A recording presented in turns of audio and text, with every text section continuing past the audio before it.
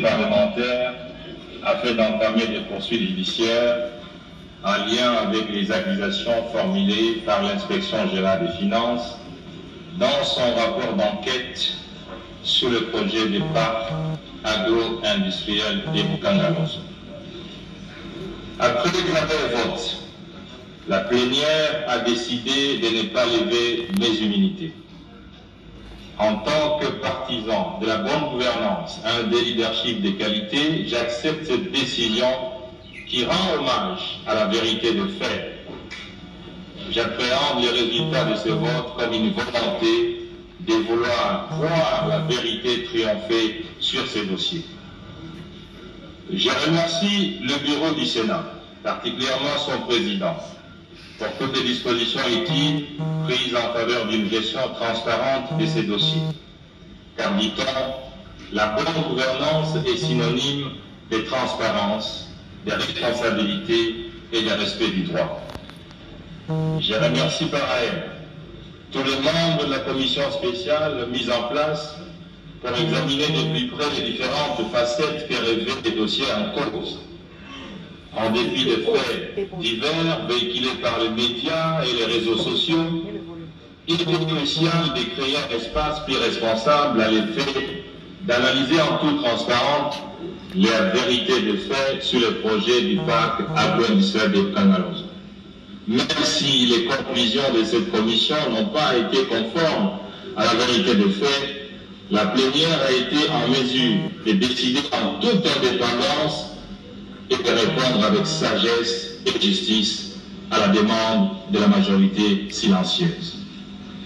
Je remercie tous les honorables sénateurs ici présents, celles et ceux qui ont véritablement cru à mon innocence, mais aussi celles et ceux qui en doutent ou qui la remettent en cause ceux qui ont voté pour les poursuites judiciaires et ceux qui ont voté contre, je vous dis également merci parce que c'est la démocratie. Honorable président du Sénat, honorable membre du bureau, honorable sénatrices et sénateurs, il faut reconnaître qu'en démocratie, c'est un droit pour les sénateurs et les sénatrices de dire non à la levée des immunités ou aux poursuites judiciaires telles que demandées par le procureur général. C'est de votre droit. C'est notamment pour préserver et soutenir la vérité. Il est crucial de le souligner, surtout lorsque les médias sociaux, les réseaux sociaux sont instrumentalisés dans l'objectif de travestir la vérité et tromper l'opinion, voire d'orienter les débats de ces dossiers au Sénat soit la nature des pressions exercées sur eux et des menaces subies, notamment par des lettres reçues de certains ONG politiquement alignés, les sénateurs sont restés sereins et imperturbables. Ils ont voté pour la vérité, la justice et la patrie. Félicitations au Sénat, félicitations à son président, félicitations aux sénateurs. Enfin, je tiens à remercier la population congolaise et tous les citoyens du monde qui m'ont soutenu dans cette dure épreuve. Ce remerciement s'adresse particulièrement à mon épouse et à mes quatre enfants qui étaient avec moi et qui ont cru au triomphe de la vérité. C'est aussi ici l'occasion pour moi d'affirmer une fois de plus que je n'ai jamais pris ni directement ni indirectement ne serait-ce un dollar de ce projet. Au regard de mon éthique de travail et de mes convictions les plus profondes, je ne pourrais en aucun cas me livrer à de telles pratiques. Ce serait décevoir toute une opinion congolaise, africaine ou du monde qui croit encore que les Africains sont capables de gérer la chose publique selon les exigences strictes de la bonne gouvernance sous toutes ses formes. Honorable président du Sénat, honorable membre du bureau, honorable sénatrice et sénateurs, en tant ministre des Finances, puis Premier ministre, nous avons mis en œuvre des réformes vigoureuses et pour relancer la croissance économique dans ce pays. Nous avons suivi le chemin de leadership et des qualités et les sentiers de la bonne gouvernance. Et les résultats macroéconomiques de ces réformes ont été exceptionnels et continuent encore à être une référence jusqu'aujourd'hui. Mais, mais, ne dit-on pas que les réformes les réformateurs. N'hésitons pas que le chemin de leadership des qualités est terminé et recueilli. N'hésitons pas que les sentiers à la bonne gouvernance est étroit. Au de moi-même, j'ai toujours personnellement su que lorsqu'on lève l'option de s'inscrire dans la direction que j'ai décidé de prendre en arrivant au ministère des Finances, rencontrer ce type de situation que je rencontre aujourd'hui paraît normal et surtout inévitable.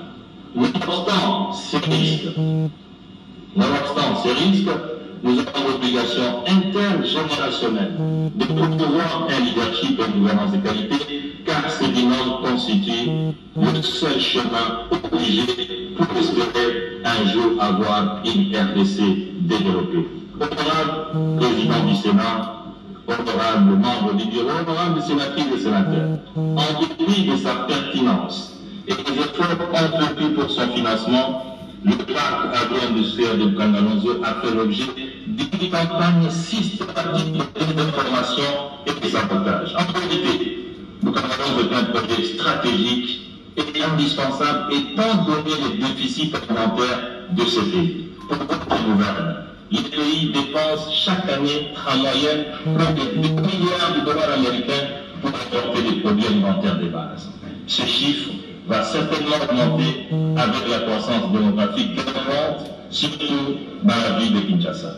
C'est une menace grave sur la sécurité alimentaire de ce pays, un poids insupportable sur la balance des paiements.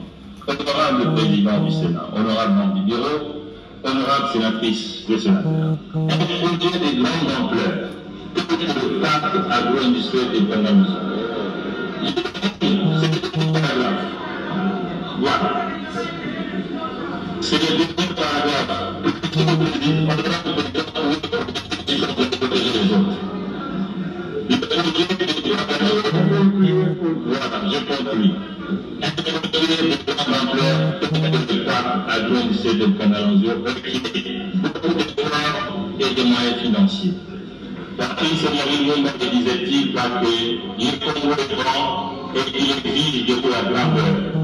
Si vous voulez faire quelque chose de grand, il faut grandeur dans la conception, l'action et les moyens mis en œuvre pour y parvenir. Sinon, vous ne serez jamais grand.